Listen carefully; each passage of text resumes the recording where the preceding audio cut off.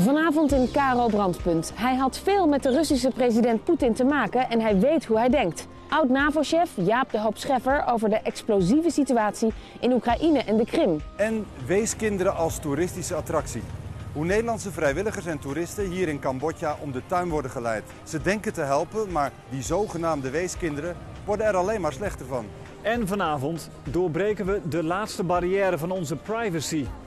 Komen straks ook uw diepste emoties op straat te liggen. Met een nieuwe techniek kunnen we registreren wat er werkelijk in u omgaat.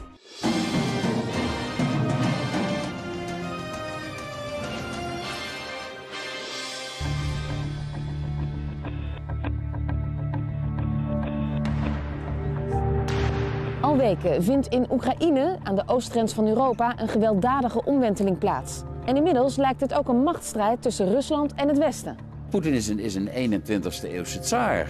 De Russen hebben de situatie op scherp gezet door zichzelf gisteren het groene licht te geven voor een militaire invasie in het buurland. Achter de schermen bepaalt uiteindelijk Vladimir Poetin wat er in zijn achtertuin gebeurt. Oud-NAVO-baas Jaap de Hoop Scheffer kent hem en weet hoe hij denkt. Hij stond vaak lijnrecht tegenover hem. Hij zal niet de geschiedenis in willen gaan als de president die Oekraïne verloor. Wat moet en wat kan het Westen doen? En zal Poetin, behalve op de Krim, ook overgaan tot militair ingrijpen in de rest van Oekraïne? Goedemorgen. Ja, Paul Scheffer. Dag. Meneer de Hoop Scheffer, de Russische volksvertegenwoordiging heeft Poetin groen licht gegeven om militair in te grijpen. Het is nu zondagochtend en er zijn militaire bases ingenomen in Oekraïne, in de Krim. Wat betekent dat? Nou, dat betekent dat, uh, dat Rusland een deel van een soeverein land, uh, geheten Oekraïne, want daar hoort de Krim bij, uh, inpikt. ondiplomatiek gezegd, er is geen ander woord voor. Hij heeft vast, het gaat nu om de Krim, maar hij heeft vast de andere route in de Oekraïne al uitgestippeld. Is dat een reële kans? Dat is een reële kans. Dat hangt een beetje af uh, van de manier ook waarop uh, de interimregering in Kiev, uh, die tot stand is gekomen na het verdrijven van Yanukovych, de president, hoe die zal, hoe die zal reageren. en ik zeg daarbij, hangt ook af van het antwoord op de vraag of de internationale gemeenschap, de Europese Unie, de Amerikanen, in staat zijn bij te dragen aan een politieke oplossing. en daar zie ik op dit moment nog helemaal niets van.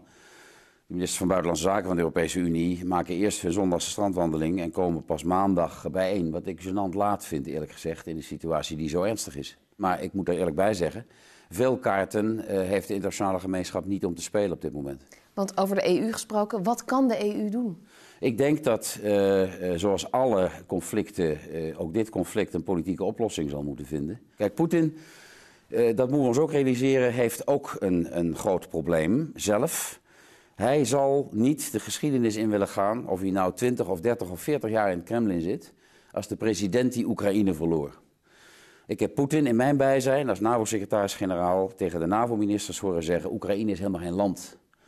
Uh, Oekraïne is geen staat. Lees, Oekraïne hoort bij Rusland. Zo kijken Russen naar Oekraïne, zeker naar de Krim, dat beschouwen ze als Rusland.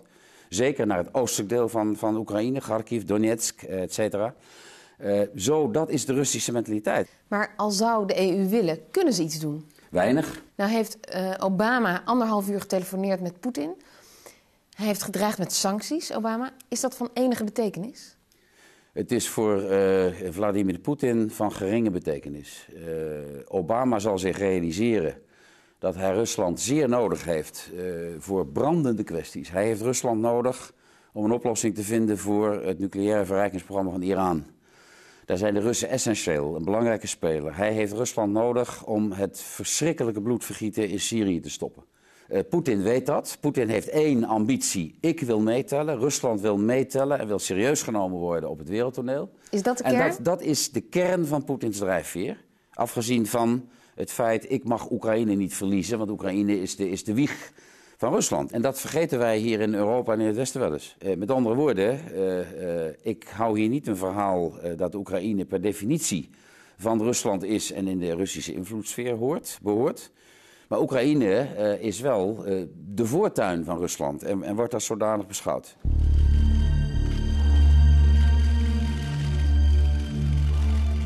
Mr. President, and thank you for giving us your time.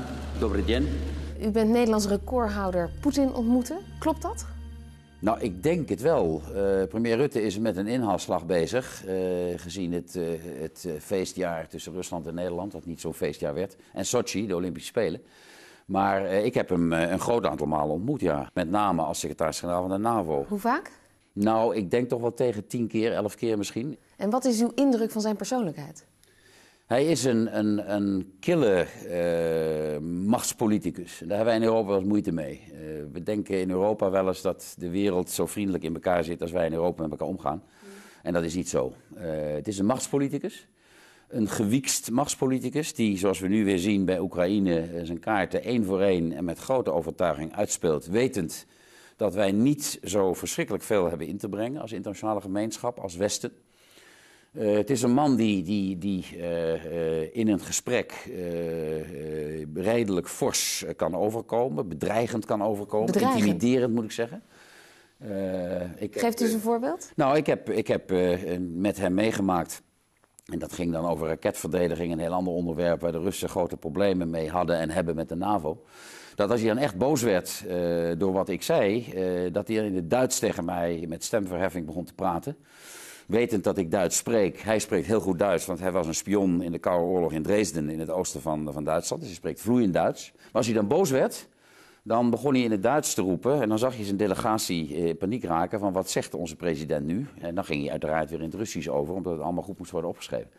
Maar het is, een, het is een, uh, iemand die uh, tracht te intimideren. en die op dit moment, terug naar het heden, die zijn kaarten één voor één uitspeelt. En dat ziet u ook in dit conflict, intimidatie? Ja, ja intimidatie. Uh, hij schept politieke feiten op de grond. Fait accompli, zoals de Fransen zo mooi zeggen. Hij heeft in de afgelopen dagen uh, de Krim bezet.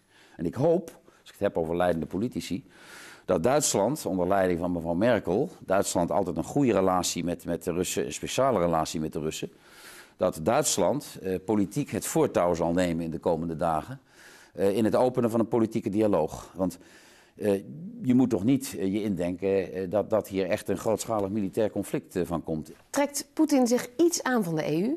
Een unie zonder leger van betekenis? Poetin weet ook dat de Economische Unie, de EU, een, een militaire pygmee is.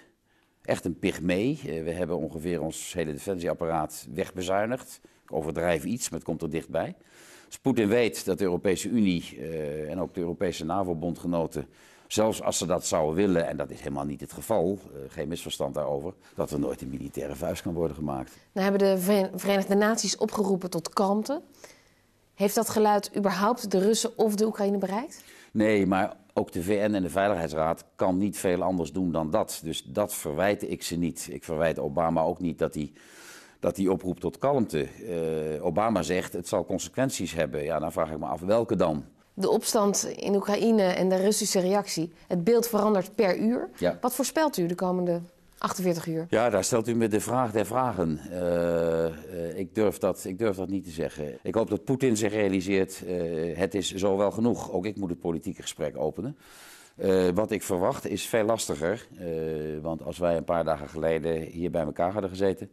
had ik u waarschijnlijk niet durven voorspellen, hoewel ik het ook niet had uitgesloten dat de Krim de facto bezet zal zijn op deze zondagmorgen waarop wij nu praten. Dank u wel. Geen dank.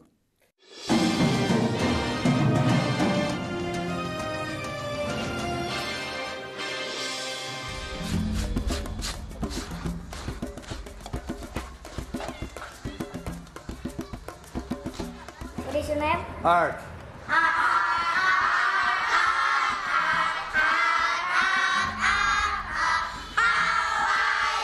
Uiteindelijk hebben ze één doel en dat is geld en uh, de kinderen als lokmiddel. I love you. I love you. Ze doen het met de allerbeste bedoelingen. Nederlandse vrijwilligers en toeristen die hier naar Cambodja komen om weeskinderen te helpen. Toen ik uh, vertelde dat ik vrijwilligerswerk ging doen, zeiden mensen tegen mij: Oh, wat goed van je. En jeetje, dat je dat gaat doen, wat bijzonder. En nou, wel heel mooi hoor, trots op je, respect. Maar in de praktijk pakt dat helaas heel anders uit. We don't want people coming here to uh, destroy the children's life. ប៉ុន្តែការគិតរបស់គាត់គាត់បែរជាទម្លាក់កំហុសលើពួកខ្ញុំនៅធ្វើការ De vrijwilligers en toeristen moeten vaak grof geld betalen om de weeskinderen te koesteren en te knuffelen. Maar die weeskinderen zijn meestal geen wees. En dat geld komt niet bij hen terecht, maar in de zakken van Cambodjaanse tussenpersonen. En dat is allemaal onderdeel van het grote toneelspel. Ja. Er zijn heel veel mensen rijk aan het worden van deze industrie. En niemand wil dat kwijtraken. De weeshuisindustrie. Ja. We gaan op pad met twee Nederlandse onderzoekers die de afgelopen maanden undercover in Cambodjaanse weeshuizen hebben gewerkt om de kwalijke praktijken vast te leggen. Daar heb ik het meest van geschrokken dat gezonde kinderen uit een, een liefhebbend gezin zijn weggehaald of weggestuurd. En in een situatie zijn neergezet die zo schadelijk voor ze is dat daarna niks meer echt mogelijk is voor die kinderen. In KRO Brandpunt, hoe goedbedoelende Nederlandse vrijwilligers en toeristen geld uit de zak wordt geklopt. En kinderen er alleen maar slechter van worden. Ik vergelijk het dan bijna als, uh, als uh, naar een dierentuin gaan. En kijken naar, uh, ja, naar arme kindjes in dit geval. Aapjes kijken. Ja.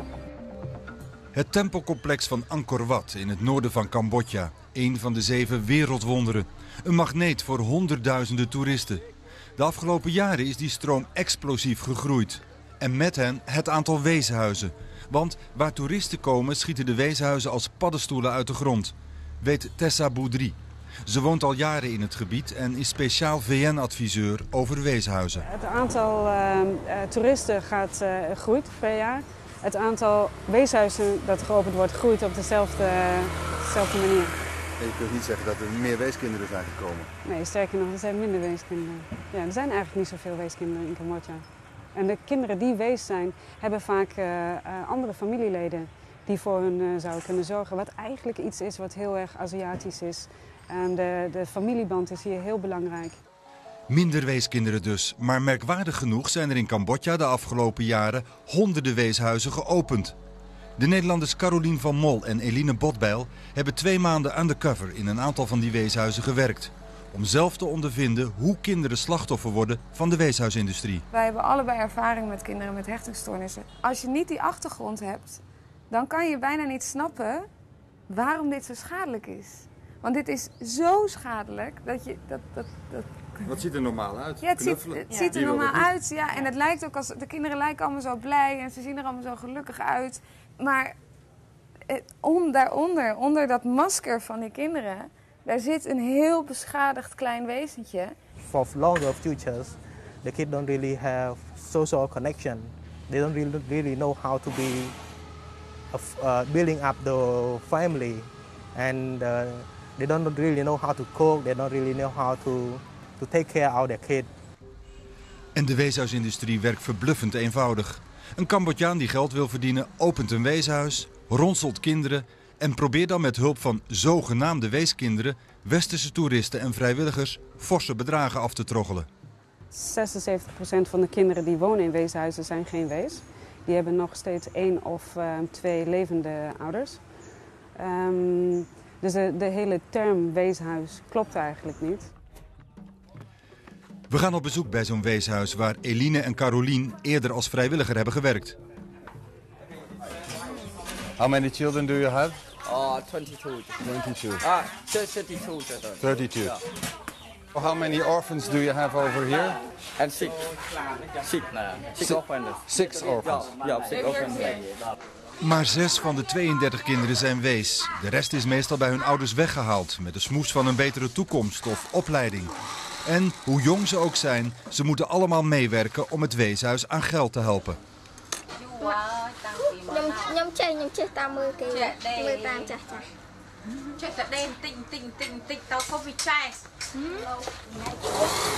How old is she?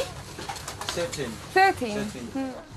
Pas als je even in zo'n weeshuis rondloopt, zie je en voel je dat alles erop gericht is om met kinderen geld te verdienen.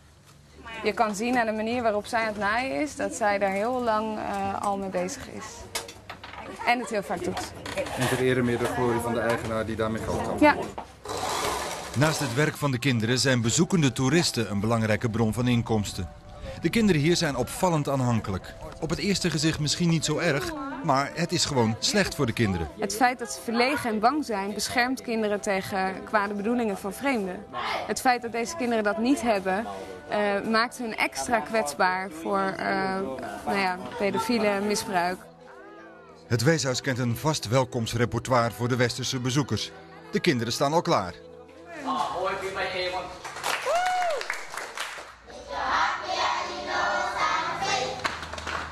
Liedjes zingen, handjes geven, knuffelen, het lijkt allemaal zo onschuldig. Maar alles is onderdeel van de grote voorstelling Laat de toerist de portemonnee trekken. Thank you. Het ziet er heel aandoenlijk uit, maar dit is een toeristisch programma. Ja, je ziet, je ziet dat ze, ze hoeven eigenlijk niet na te denken over liedjes. Ze hoeven ook niet te overleggen. Ze doen eh, iets van, nou wat was het, vijf liedjes achter elkaar. Eh, zoals dat de kindertjes een liedje zingen I love you, is erop geënt om jou speciaal te voelen. De- direct daarna gaan alle kinderen je knuffelen, zodat je nog meer een band creëert met de kinderen en nog moeilijker vindt om daar nee tegen te zeggen. Om geld te geven. 10 dollar. Zo kan je zien wat een beetje de bedragen zijn die er achtergelaten zijn. Dus dat eh, gaat van eh 10 dollar tot eh 400 dollar.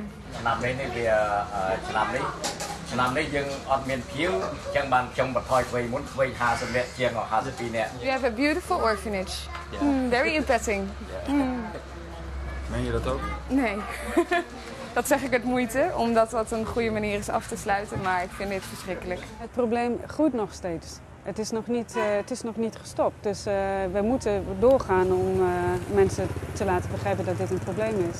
Anders blijft het groeien. En blijven er dus meer kinderen eh, uit hun gezin gehaald eh, worden.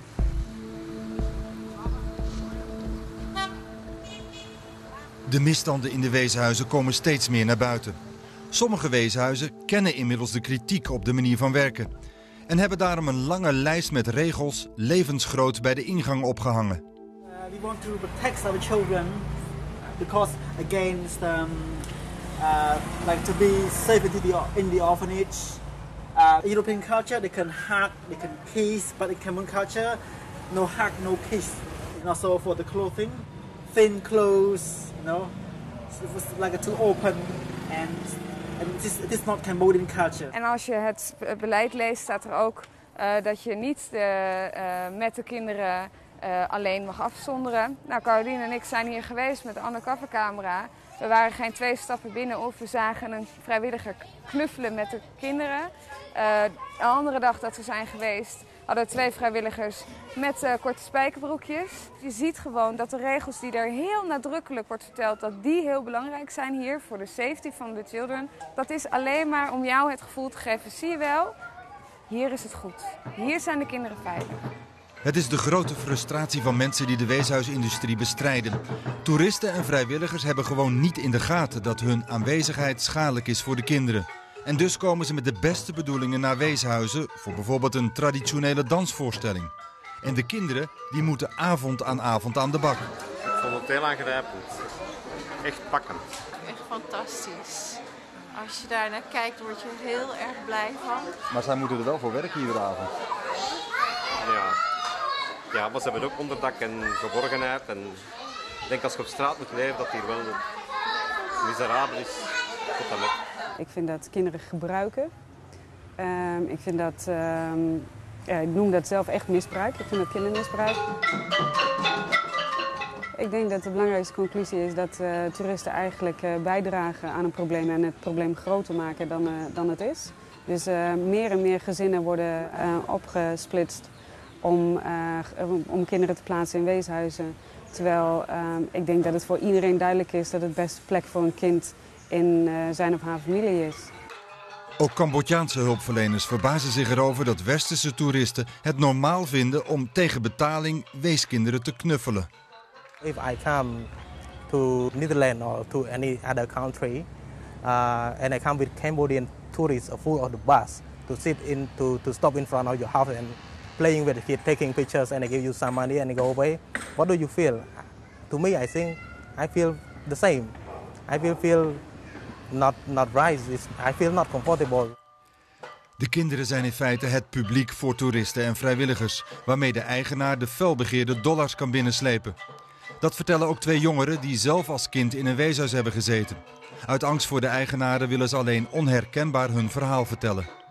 គឺថាកន្លែងគាត់ហ្នឹងគាត់ធ្វើការអញ្ចឹងគាត់ឃើញពួកខ្ញុំអញ្ចឹងទៅនិយាយបកស្រាយពីអង្គការគាត់អញ្ចឹងទៅគាត់អាចធ្វើអាចបង្កើតធានការមួយអញ្ចឹងប្រាប់ធ្វើមកលើពួកខ្ញុំអញ្ចឹងជំនួយឧបត្ថម្ភដែលគេបានផ្ដល់ឧបត្ថម្ភមកខ្ញុំដឹងដោយសារតែពេលដែលគេឧបត្ថម្ភមកក្នុងមណ្ឌលមាន volunteer មកអញ្ចឹងគេទិញពូកទិញមុងភួយទិញអីចឹងឲ្យទៅគាត់យកទៅដាក់ផ្ទះគាត់ហើយបញ្ចេញលក់ទៅបាត់ De vrijwilligers komen meestal via bemiddeling van westerse organisaties die op internet uitbundig reclame maken voor het weeshuis toerisme.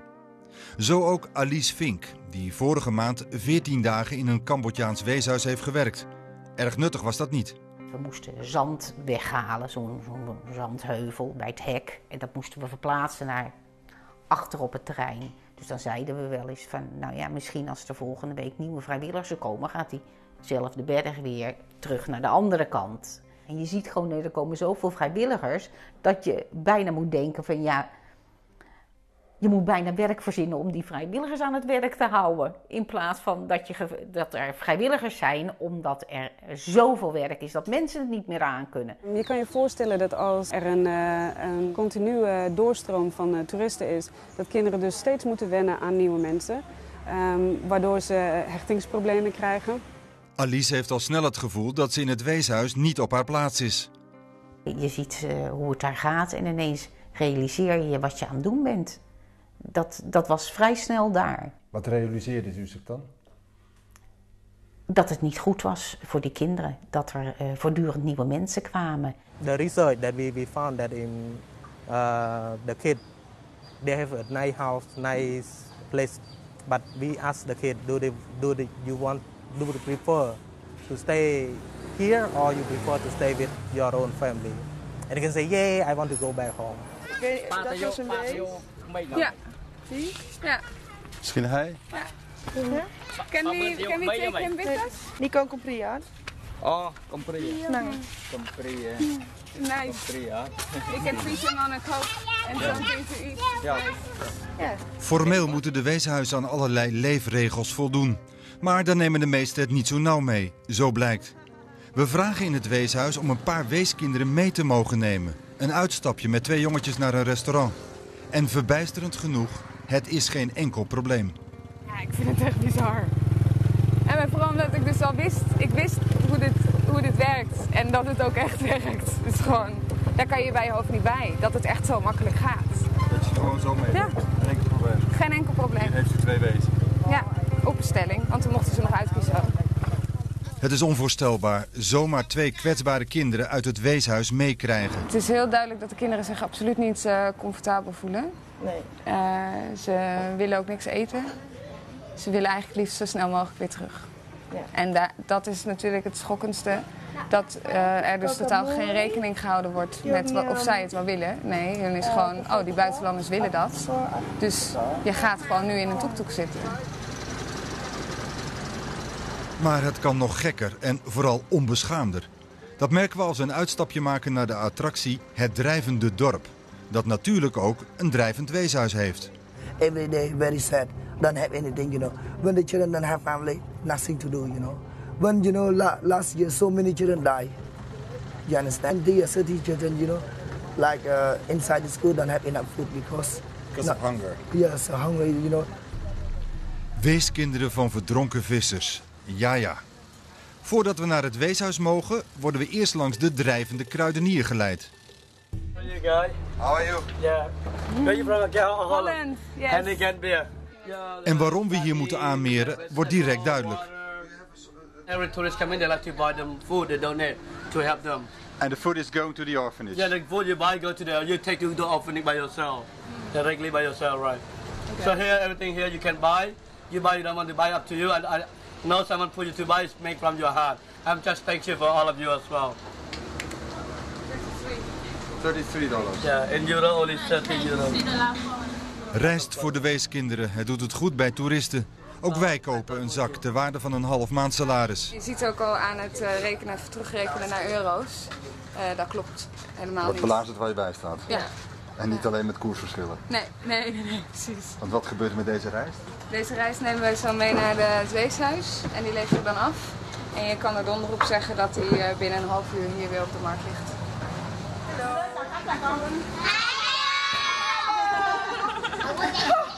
En nu begint het grote toneelspel?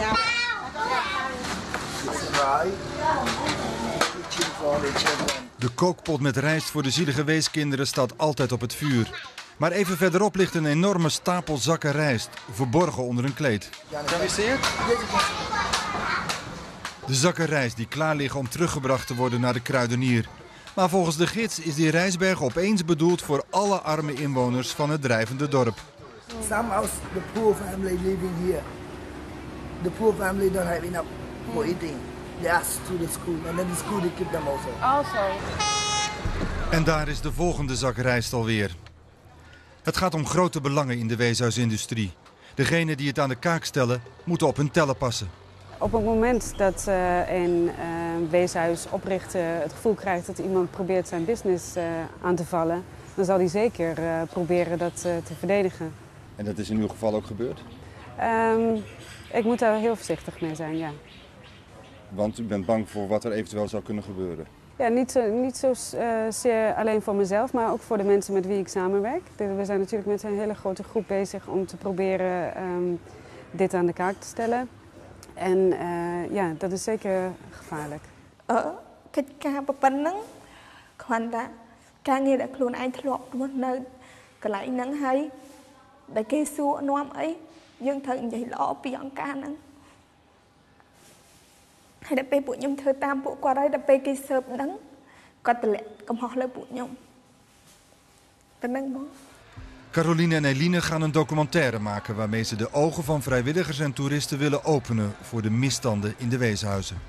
Ik denk dat ook een onderdeel is van het probleem is dat het er heel gewoon uitziet. Je bent gerustgesteld door de situatie. Je bent vriendelijk gedag gezegd door de kinderen en door de manager. Je hebt de regels gelezen. Je denkt, nou wat fijn, ze zorgen voor de kinderen. En dan laat je je twijfels bij de deur. Meestal als wij een vrijwilliger spreken, zeggen ze allemaal hetzelfde. Oh, je hebt gelijk. Oh, het is verschrikkelijk. Maar mijn weeshuis, daar was het echt niet zo erg. En ik heb een hele slechte boodschap voor al deze mensen die dat zeggen. Ook jouw weeshuis maakte deze kinderen kapot. Sorry, maar het is echt zo. If I were a Dutch volunteer who plans to come to Cambodia to help you, what would be your message?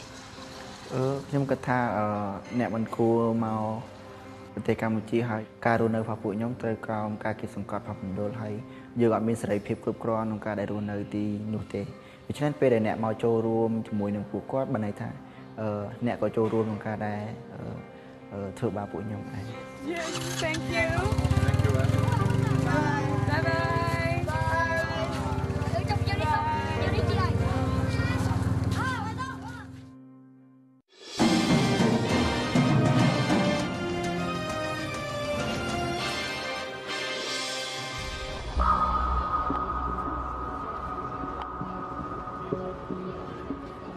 Dik, dun, bleek, donker, mooi of lelijk. 7 miljard gezichten zijn er om ons heen. Geen één is gelijk. En toch zijn we allemaal op dezelfde manier te lezen en te doorgronden.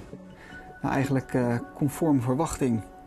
Veel negatieve emoties. Het is een bijzondere doorbraak. Computerprogramma's die achter de façade van uw gezicht uw diepste emoties kunnen lezen.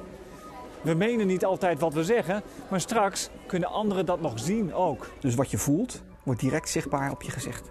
Hij is nogal spannend en dat is ook logisch gezien de situatie. Eh, nee, dat eh, wisten wij niet. Weinig, Disgust, eh, walging? Ja, ja.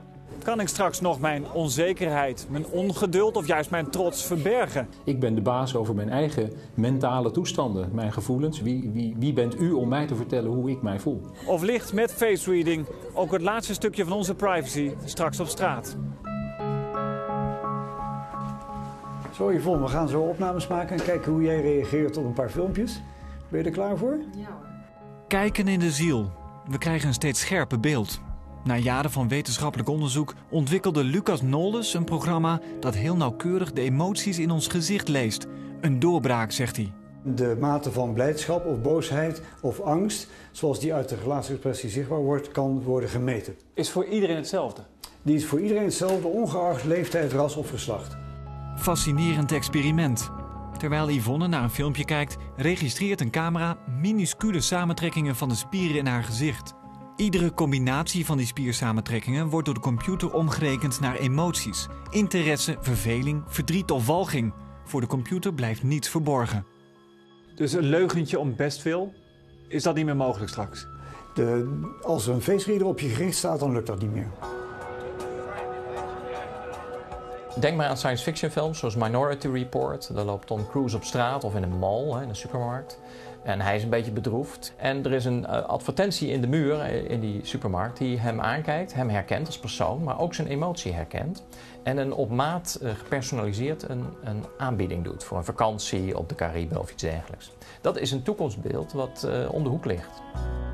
Erik Posma, hoogleraar kunstmatige intelligentie, verbonden aan de Universiteit van Tilburg, ziet talloze nieuwe toepassingen voor deze technologie. De eerste toepassing waar je aan denkt is mensen helpen die moeite hebben met emoties uh, lezen in andermans gezichten. Denk aan autist, uh, autisten die daar moeite mee hebben om te begrijpen wat een emotie uitdrukt. Die kan, kunnen dan geholpen worden. Maar het kan natuurlijk ook gebruikt worden bij sollicitaties, uh, bij, als de leugendetectie, het zoveelste gereedschap voor leugendetectie. Nobody is that smart. Nobody is that conniving. Nobody is that good to try and get away with something for 17, 18, 19 years. No way. We bekijken een fragment van Lance Armstrong, waarin hij ontkent dat hij doping heeft gebruikt. De computer analyseert de spiercontracties in zijn gezicht.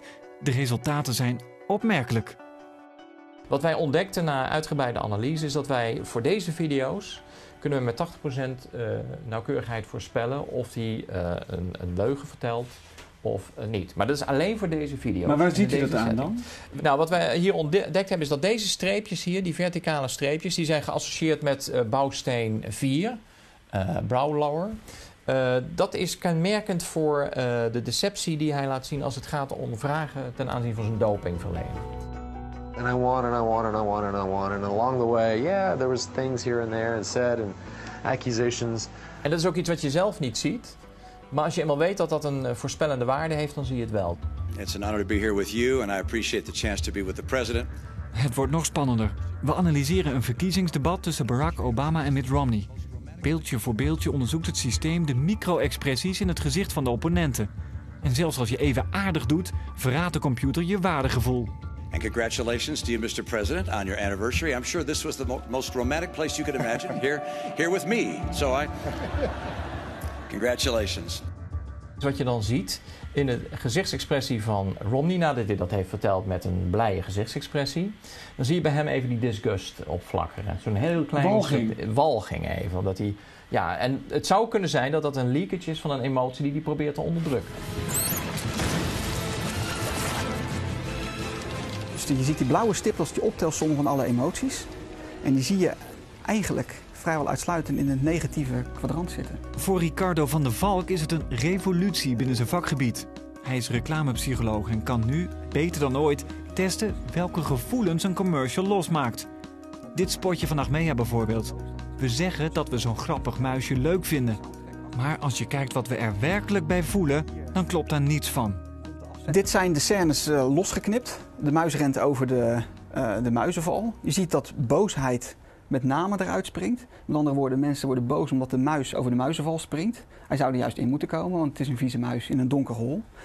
Je ziet sowieso heel veel, dat zie je aan de blauwe stip, negatieve emoties. Het is een hele donkere, duistere setting.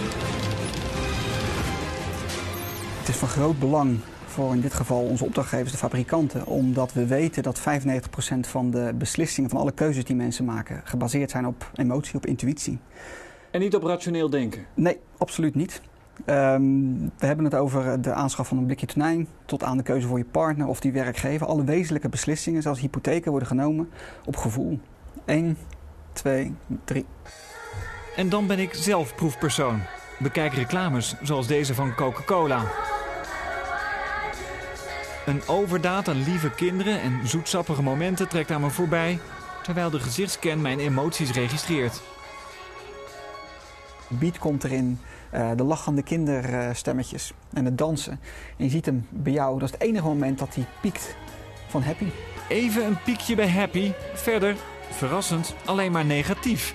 Al dat warme geluk heeft bij mij kennelijk een averechts effect. Uh, het is je gevoel die in de weerstand schiet. Ten opzichte van, waarschijnlijk is mijn conclusie, het bedrijf en de manier hoe zij uh, communiceren. Je drinkt Coca-Cola of niet? Uh, Jazeker. Dat wel, oké. Okay. Ja, dan is het heel waarschijnlijk uh, puur het imago van het bedrijf en het Amerikaanse gevoel wat erbij uh, speelt. Lachen, boosheid, verdriet of angst. We denken misschien wel dat we controle hebben over ons gezicht, maar dat is niet zo. Minuscule spiersamentrekkingen, micro-expressies, komen altijd naar de oppervlakte. Mensen pikken dat niet altijd op, de computer wel. We kunnen in de toekomst veel meer tussenvormen ook meten, zoals aandacht, irritatie, de verveling, uh, maar ook subtiele vormen van blijdschap, uh, genot en plezier. Blijft er nog iets van mijn gevoel straks verborgen? De, wat aan de buitenkant zichtbaar is, kan door de computer gelezen worden. En daar gaat misschien wel ons laatste stukje privacy. Mensen weten al zoveel over ons. Camera's langs de snelweg of in de binnenstad, ze houden ons steeds in de gaten. De telefoon verraadt waar we lopen door steeds signalen af te geven over onze locatie. Facebook, Twitter, sociale media. Bedrijven weten vaak beter dan we zelf wat we zoeken, wat we willen. Ik dacht dat ik toch nog één ding voor mezelf had: mijn emotie, mijn gevoel. Hebben mensen het recht om, om te zeggen tot hier en niet verder? En ik denk dat privacy precies daarover gaat. Dus het, de, het, uh, het recht om te zeggen tot hier en niet verder. Jeroen van den Hoven, hoogleraar techniek en ethiek. We ontmoeten hem in het Koninklijk Instituut voor de Wetenschappen. Hij houdt zijn hart vast als iedereen straks feilloos de gevoelens van een ander kan aflezen. Mensen hebben vaak tegenstrijdige emoties of uh, uh, voelen dit soort dingen, maar kunnen ze ook heel goed verbergen. En, en, en, kiezen er ook soms voor om dat te verbergen of er uiting aan te geven. Dus dit, dit uh, het zelf kiezen voor het toedekken of het verbergen van diepere gevoelens, dat, dat is iets wat we aan de persoon zelf moeten laten. En dat is namelijk een manier om mensen te respecteren. Dat is precies wat het betekent om mensen te respecteren. Jarenlang zat de technologie in de veilige omgeving van een laboratorium. Proefpersonen die toestemming gaven om hun gezicht te laten lezen. Maar nu staan we op het punt dat face reading de consument gaat bereiken. Nu kunnen we die metingen uit het laboratorium brengen en komen ze terecht in de thuisomgeving, waar we de emotie in allerlei contexten kunnen meten. Of het nou de emotie van een de autochauffeur is, of van een luchtverkeersleider, of van een control operator, of een eenzame oudere in een zorgappartement. Face reader kan die emotie detecteren en de omgeving daarop laten reageren. Stel je voor, een slimme bril zoals de nieuwe Google Glasses die met deze technologie wordt uitgerust. Winkeliers kunnen dan direct zien wat hun producten bij u losmaken en waar ze aan kunnen verdienen. Gaat het over hele simpele, triviale toepassingen, dan is dat misschien niet zo'n probleem. Maar kan het iemand zijn baan kosten, of uh, uh, uh, een, een, lening, of, of iets anders? Wat voor hem belangrijk is, dan is dat denk ik iets waar we over na moeten denken. Let's get started. In Amerika wordt al geëxperimenteerd met gezichtscans tijdens sollicitatiegesprekken.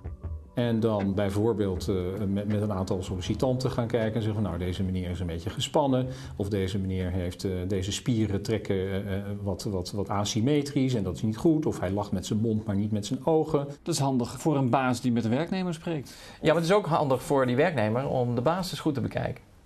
Ja. Dus het werkt twee kanten op.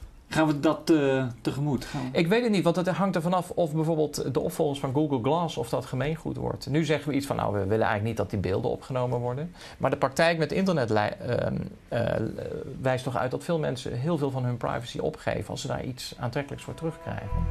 En het is wel aantrekkelijk om een beetje te graven in de emoties van anderen. I did not have sexual relations with that woman. Zo willen we best weten wat er hier in Clinton omging.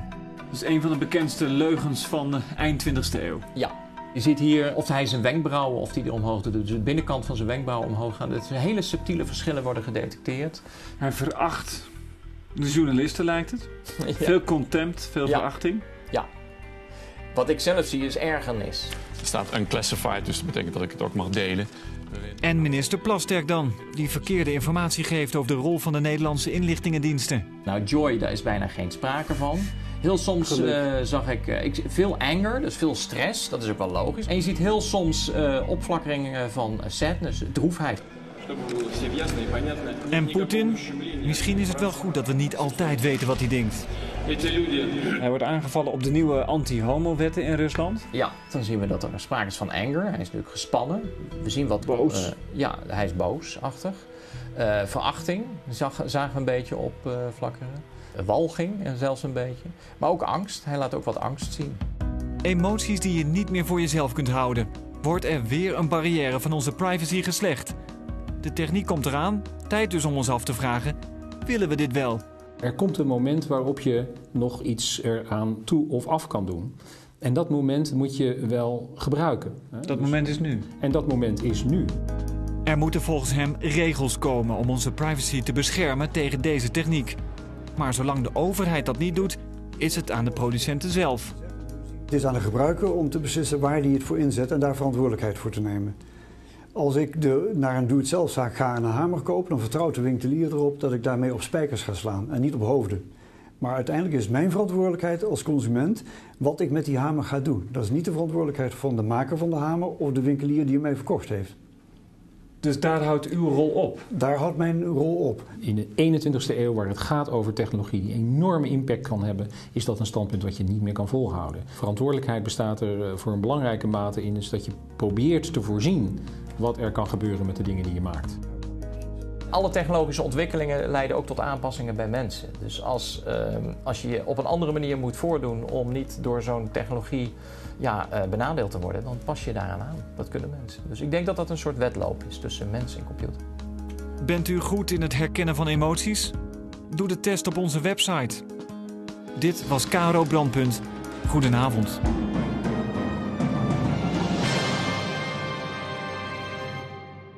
Palme is onmiddellijk dood.